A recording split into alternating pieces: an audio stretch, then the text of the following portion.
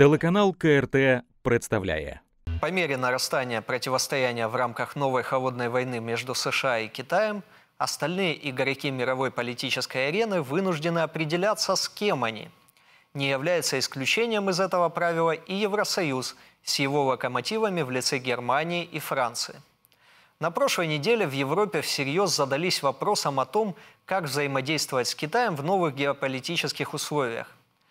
Тренд в этом вопросе попыталась задать именно Германия. Впрочем, началось все, как водится в подобных случаях, с выражения коллективной позиции. 28 июля на сайте Совета Европы появилось сообщение о том, что эта структура приняла пакет мер реагирования на действия Китая в Гонконге. В ЕС выразили серьезную обеспокоенность по поводу закона о национальной безопасности Гонконга, принятого Постоянным комитетом Всекитайского собрания народных представителей 30 июня 2020 года. Как значится в заявлении Совета Европы, цитата, «Выводы подтверждают поддержку ЕС высокой степени автономии Гонконга по принципу «одна страна, две системы» и солидарность с жителями Гонконга, устанавливая пакет согласованных мер реагирования в различных сферах.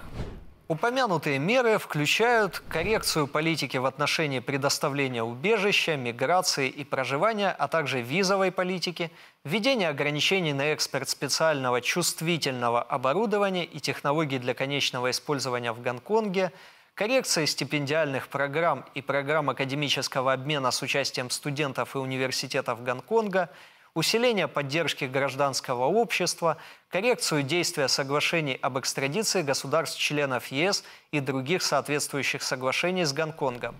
На последний пункт прошу обратить особое внимание, так как в дальнейшем именно он вызвал, если не конфликт, то, по крайней мере, существенное разногласие Германии с КНР. 31 июля стало известно о том, что Германия приостановила соглашение об экстрадиции с Гонконгом. Как пишет издание Deutsche Welle, Данный шаг был вызван решением этого специального административного района Китая отложить на год выборы в Законодательный совет, намеченные на 6 сентября.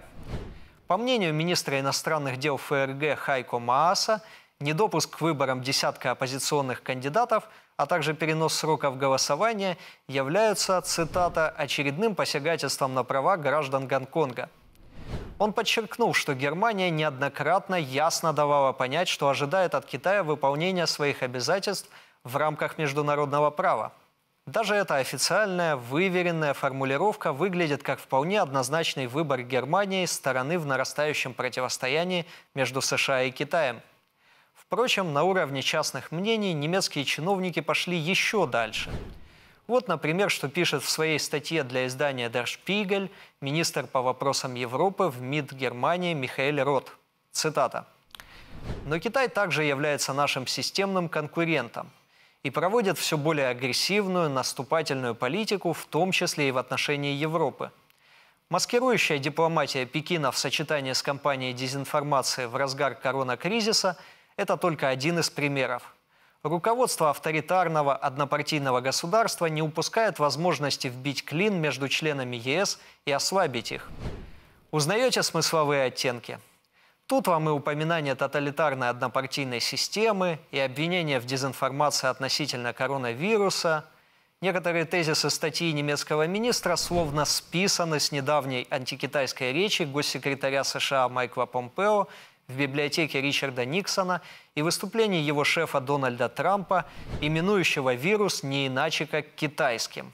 Далее Михаил Рот пишет о том, что Европе необходимо срочно предпринять более активные действия по отношению к Китаю.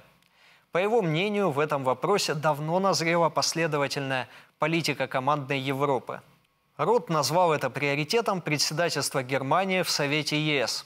По мнению министра, Евросоюз должен действовать более уверенно в отношении Китая и говорить с ним одним голосом. Если мы не объединимся, не отстоим свои ценности и интересы с помощью консолидации сил внутри ЕС, мы не будем производить впечатление в Пекине заключает Михаил Рот.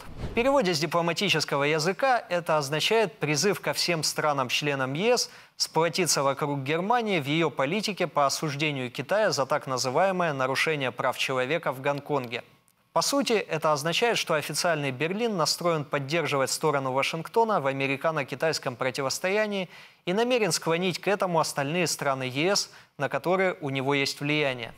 Разумеется, китайцы не могли проигнорировать столь явные выпады немецкой стороны.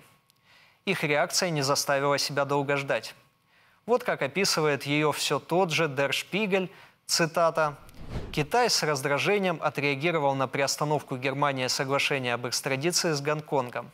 В заявлении китайского посольства в Берлине в субботу Германия была обвинена в серьезном нарушении международного права и серьезном вмешательстве во внутренние дела Китая.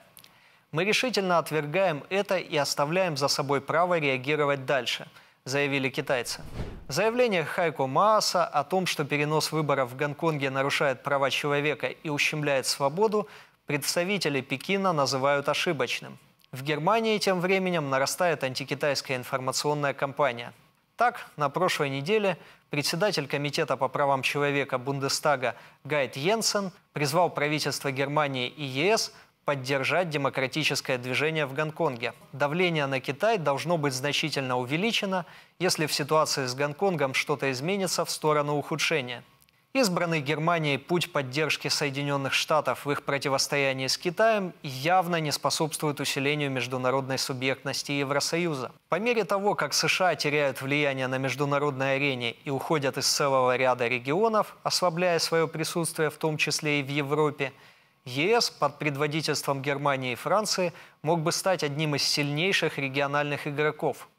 На протяжении нескольких предшествующих лет европейскими лидерами высказывались различные идеи, направленные на укрепление суверенитета Евросоюза и ослабление его зависимости от США.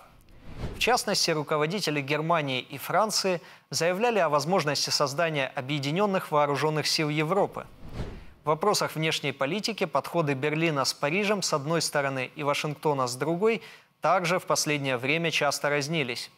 Иранская ядерная сделка – яркий тому пример. Однако нынешняя антикитайская риторика Германии и ее конкретные действия, направленные против Пекина, толкают ЕС в сторону еще большей зависимости от Соединенных Штатов. Выбирая американскую сторону в новой холодной войне, европейские лидеры могут обречь себя на монопольный диктат Вашингтона в вопросе внедрения новых технологий, как это уже произошло в Британии, которую вынудили отказаться от дешевого и качественного китайского 5G в пользу дорогого американского, исходя из соображений национальной безопасности. Не исключено, что со временем американцы потребуют от Евросоюза присоединиться к торговой войне с Китаем – в общем, лучше бы Европе не ввязываться в это глобальное противостояние, тем более на американской стороне.